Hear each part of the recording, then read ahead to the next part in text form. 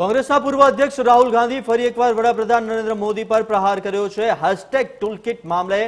દિલ્હી પોલીસે micro blogging website ટ્વિટરની office પર દરોડા પાડ્યા હતા જેને લઈ રાહુલ ગાંધીએ હેશટેગ ટૂલકિટ સાથે ટ્વીટ કર્યું કે સત્ય ડરતો નથી દિલ્હી પોલીસના સ્પેશિયલ સેલની ટીમે કથિત હેશટેગ ટૂલકિટ કેસની તપાસના સંદર્ભમાં સોમવારે સાંજે ટ્વિટર ઇન્ડિયા દિલ્હી અને ગુરુગ્રામમાં ઓફિસ પર દરોડા પાડ્યા હતા